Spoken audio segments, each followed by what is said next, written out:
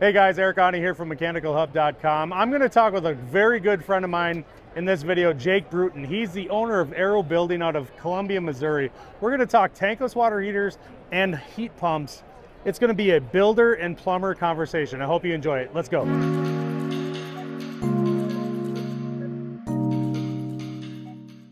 Jake Bruton, Aarow Building. Jake, Jake.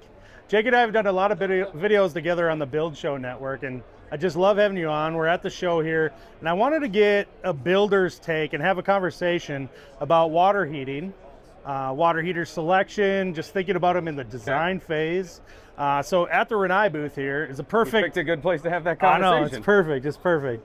So uh, we were talking off air before we started record recording a little bit, just kind of your background, what you guys are building with. Do a lot of heat pumps. You're doing a lot of tank water heaters. Yep. You've done some different technology, split system heat pump water heaters, stuff like that. Uh, you're even considering a tankless coming up on a job. Yep. Uh, I've done a ton of tankless, and so I have a lot of insight on kind of how to what to think about ahead of time. But there's things you guys are doing on the pre-construction side when it comes to plumbing, planning, stuff like that. Yep.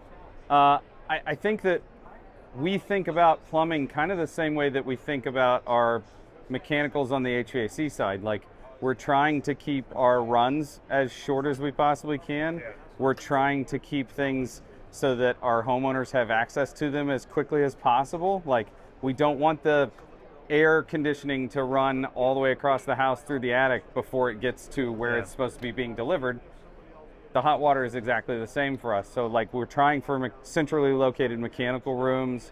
We're trying to think about comfort. Where you were on a job recently where we had a recirc situation yep. that was operating specifically off of a motion sensor so that it's only using power and when people are home things like that like we're really trying to plan ahead for optimal comfort because now that we have the house in a really high opportunity for success we're having more demanding clients so like that selection process is getting more and more difficult now well, so, and I applaud you for making those choices when you're on the planning stage. I can tell you, because I'm working with your customers, you know, in theory, 10, 15 years down the road, right? Because I do a lot of retrofit stuff. And uh, one of the biggest complaints I get from homeowners is waiting for hot water. Yeah. Oftentimes people aren't talking to me about like, hey, how can I lower my operating costs? Uh, as much as they're saying, hey, I'm sick of waiting for hot water. So we could do recirc systems really easily. That's what's cool about tankless. And I'm not sure really how many builders uh, have been paying attention and really know the ins and outs of tankless and that you can get hot water recirculation built right into them. Yeah. No external pump. You don't even have to do like a motion sensor now, Jake. Yeah. So like this particular unit, this is their Sensei RXP, right? So it's it's technically this one's the one with this the recirc. It they is. Look, so they look the same from the outside. They do. So it's a condensing tankless water heater, right? So it can run on propane or natural gas. Um, installs like every other tankless water heater, but these have a pump built in them. And if you have a dedicated recirc line, like if you're on new construction and you've installed that, typically coming from your farthest bathroom back to the water heater, yep. whether you're centrally located or not, uh, you've run that recirc line and we can connect it to this. It's got an internal pump and it, it'll keep that line hot, right? Yep. So we're not waiting for hot water. And, and uh, it's also not going to always fire the unit. That's another thing people talk about when you talk about tankless. Like, so it's got it's got a brain of its own. It does, and actually, what's really cool is these things will now learn your water usage. And this is something I talk about in my videos all the time. And I think this is something interesting. I think builders should pay attention to. So this that's a savings right there, and I'm going to explain why. So like that job you we were working on, I got I got invited down to work on install yeah. the system there, and you had that photo eye, like a motion sensor, right? Yeah. That's what that is to activate. So every time somebody walked into the kitchen, it would circulate the water. And although I, I think that's great because it's automatic and there's no further input needed from the occupants or your customer, your client. Yeah ultimately it's overkill because of the pump we ended up buying. Well, and ultimately, you don't have to uh, activate hot water if you're just walking into the kitchen. Like you might not use hot water, right? And so these systems will learn your Not those clients. I told them they have to every time they go in the kitchen now because we put that in. yeah, yeah, no, but these systems will learn usage. You can also get like a button activation. Yeah. You could do a motion sensor. You could still do that, but these manufacturers like Rinnai have thought about that and said, you know what, we can make this as easy as possible, which in turn lowers the installation cost because we're not having to add more Yeah. control. Don't want anything else. And I'll tell you, like I said a minute ago, like honestly, my customers, like they just want hot water now. Of course, they don't want to run out of hot water, and that's why I personally like tankless as a solution, especially on new construction, because if we go into it, we can design the best plumbing system, but if we don't have a water heater that can handle the load, then Yeah. you're you know you're kind of out of luck. And tankless will almost always do that. And the cool thing about tankless is, is if as your house gets larger and the load gets bigger, we can actually use more than one. You know, Yeah. and they So don't take up a lot in of. series, Yep. or they could be at separate ends of the house. Yeah, they could be completely disconnected from each other, or you could manifold them together and have more than one, which is pretty cool. Uh, the Rinnai product, they, I mean, they make it as easy as you can imagine to do that. But ultimately, yeah, the the design and like location is great. Recirc is phenomenal. Like having it built into the unit, you don't have to have that because they sell the same unit, no pump Yeah. you know so if you're not going to do a recirc like you simply don't need it let's say you've got a very small structure and the plumbing is four feet away Yeah. you don't need to do hot water recirculation Yeah. So what are some of the things you're Talk, thinking talk of to me about this thing. okay so you and i you're not installing any water heaters outside you're too No. far north but if you lived a few hours south maybe 10 hours south maybe Yeah. stayed away i don't know Yeah. i don't know that's stupid but Well, Florida. If I was you- in South Florida, if you were in Florida, if you were in California, you know, parts of Nevada, Arizona, you can install water heaters outside. So what Rinnai did was really cool. So this will be interesting for builders too. Is you probably get a mix if you're in those southern climates where you might be installing some of your water heaters on the outside, some of them inside. And they just made this hood that goes on the top and it converts one tankless into either from an indoor to an outdoor. Yeah. That's it. It's just So adding this. these guys are exactly the same. They are, yeah. All this has is this added vent cover, and so that thing vents from here rather than pipe and up. Correct. And so these are direct vent appliances. So when you're installing them inside, we can use room air on the inside, but then of course you have to have some kind of makeup. Yeah. But typically, how we're installing them and how they they work best is we use a two pipe system. One Yeah. is an intake pipe, one is an exhaust pipe. Yeah. And I know you guys are install, you know, you're building to the highest standards for for air tightness. Thank you. But you are, you are to the. I mean, your your your goal is to have like no air leakage in the building whatsoever, right? Um, and we can actually. I, it probably makes you a little nervous to say we're going to start drilling holes and exhaust, you know, for exhaust piping and things like that. But you're talking small diameter piping, Yeah. very easy con- to control, especially. I mean, it's pretty tough to do that on a retrofit, but especially easy to control the air sealing around those pipes on new construction. You know, so really nothing Certainly. to worry about. These cabinets are sealed. You're not going to get any kind of leakage. Yeah, they're not drafting or anything like right, that. right. Right. So I, that's Yeah, probably because there, there's combustion going on inside here. You want, you need it to be sealed anyway. you need it to be sealed. The other thing too is these are like nearly silent, so that that gasketed door stuff like that goes a long ways at actually making these uh, almost silent. Well, quiet's quiet is a really good conversation too when we're talking about if we're not recircing through the whole house and I'm using say two of these, one of these is next to the kitchen, Yep. one of these is next to my master suite, and then I have hot water close when I get up in the morning and start taking a shower and somebody else is still in bed. Yep. Or I have hot water right next to the kitchen and people are over. I don't have to worry about the, the tank or whatever making noise or my heat pump making noise and it being a disruption to what we have going on. The fact that it is quiet, it's sealed, it's sealed combustion, and it's piping through PVC that's not going to be loud and Yep. tingy and metal and everything. Like there's all sorts of little advantages that help make it quieter that add up in the long run. It is. You're right about that. They also have. Let's show you. I'll show you this here. So I, I alluded to the being a two pipe system. But it can be a single pipe. So like, well, this is concentric, we Yeah. call it.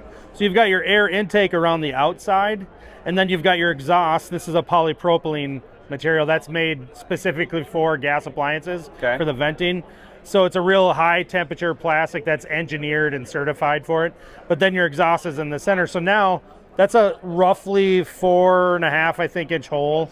So now we could just still drill one hole through the outside and we can use Yeah. this type of piping system. So of course it comes at different lengths. There's a termination.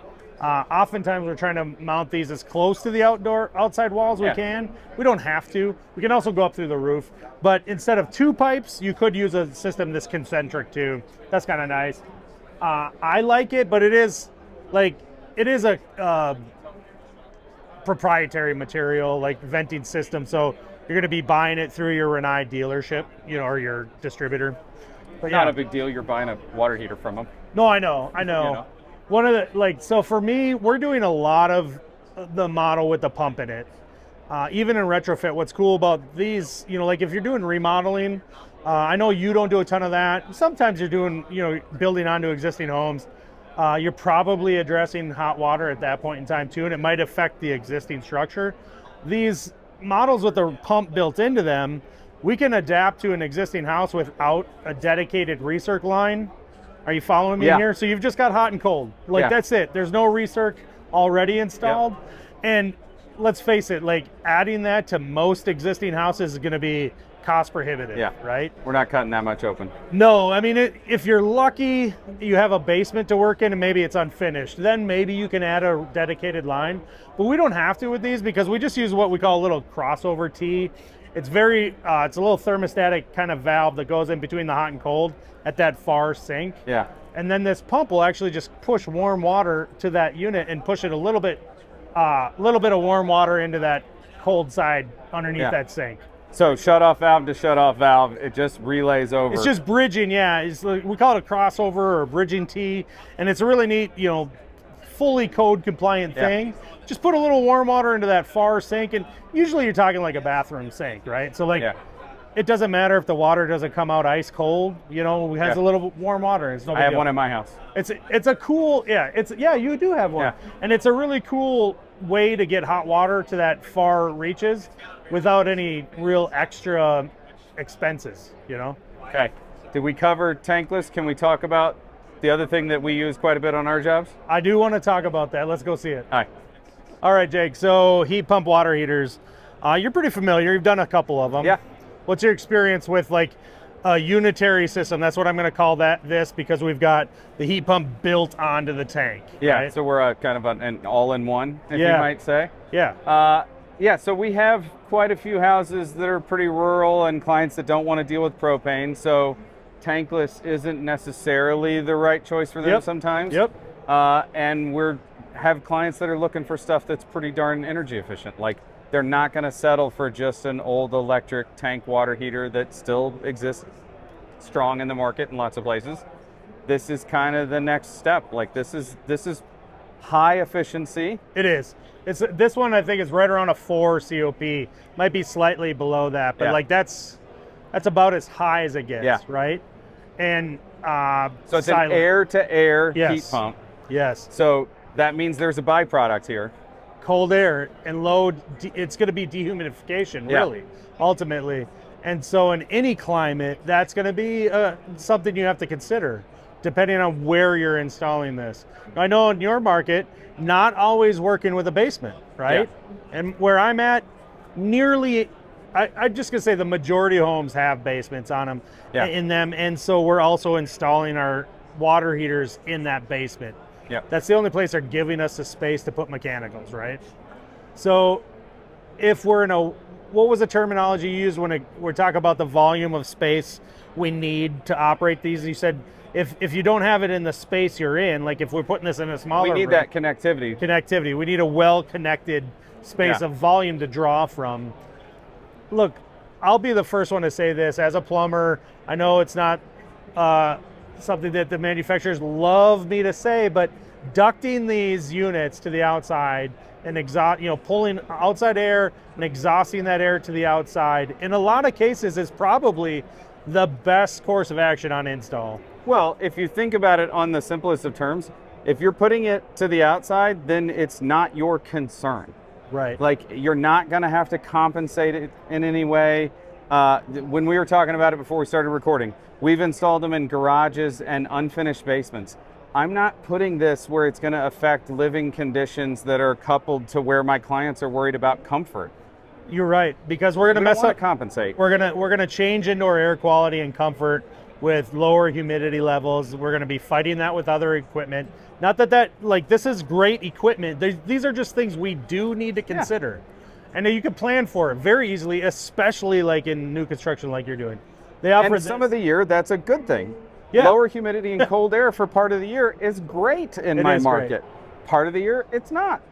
We just have to know that. Right, and it's very clear in the install manuals and the specs on these on what you have to do uh, as a small ducting kit, and depending on where this is installed, you might not even have to go very far with it. Yeah. I know it's capable. Not that you're maybe concerned too much about it, but it's capable of going far distances. I think it's in the dozens or maybe multi dozens of feet. So like, look, it's not hard to put this pretty much anywhere as long as we're installing it right. Uh, even if we have to duct it. Yeah. But saying all that, we're still using them because they're really high performers. They are. They're they're a great unit. They're they're giving us all of the things that we need, the performance and hot water and in an all electric unit, that's pretty hard to come by in a lot of other devices. It is. Uh, they're more complicated than a, a regular electric tank water heater. There's no doubt about that. But what you can't see in this video, and I'll just briefly cover it, from this point on is heat pump, right? This is just basically a hollow shell covering the heat pump Yeah. itself. So tank, Tank, heat pump. Inside the tank, you've got a couple 4,500 watt elements where you're, you're familiar with that. That's how an electric water heater works. Um, we only fire one of those at a time. That's a technical way it works because otherwise it would take too much uh, amperage draw on the system. But now with this heat pump, roughly 500 watts, which is not a lot, we're uh, basically supercharging like what's in your refrigerator already, right? yeah. And instead of pulling the heat out of the refrigerator, we're pulling the heat from the space and putting it in the water. Yeah. That's how it works. Yeah. Very simple. Uh, but that byproduct that we've covered a lot already, you know, um, these things, they offer them in multiple sizes is another thing for performance purposes, right? And it's to compete against, it's really to position this as an alternative to gas. They've got the 50, a 65, and an 80, right? And so if you size these properly, and I, I caution people to oversize them. I think sometimes builders are like, well, a little bit bigger, I don't want to call back. Yeah. And while I respect that, you know, but we can size, size these properly and probably get away with a smaller tank than you think. Yeah, recovery is still pretty darn good. Like even though heat pump isn't as fast as say gas in most cases, the recovery is still perfectly fine. Right on par with an electric Yeah. resistance water heater. Yeah. And they've got multiple operating modes with these things now where you've got vacation settings, you've got hybrid where they can use the electric element and the heat pump. So Yeah, ultimately they've yeah, they're smart. And they've designed them to meet our customers' needs and demands. And as a builder, as a plumbing contractor, like we don't want those callbacks. Yeah. And so we can, there's, I've had experience installing them. I know they're going to become mandated in a couple of years. That's another thing that, you know, ultimately is, is happening in this industry. If we go over something like 30 gallons, somewhere there's a cutoff and it's pretty small to with electric resistance to where we have to go heat pump. Okay. So that's where we're at. Any other things you're thinking of when you're thinking of heat pumps? Uh, I think it's just it's become like our starting point if we're talking just pure electric. Yeah. Like we just don't even have the conversation about electric resistance anymore. Yeah, no, Yeah. it's. I think I think that's pretty common. It's cool to hear you say that. I'm not dealing with the builder on a daily basis because I'm not doing the new construction anymore. But uh, kind of my goal in talking to you about this was just to get your feedback too and offer up anything I can offer up. Yeah. Yeah, tankless heat pumps. I mean, uh, we got we got it covered. Yeah. Really, ultimately, nobody's running out of hot water. Guys, I want to thank Jake for being on the show or on the on the video here, and uh, watch for more coverage from IBS here on our, our YouTube channel for Mechanical Hub. Jake, have a good one, man. Thanks for having me. Took a fight.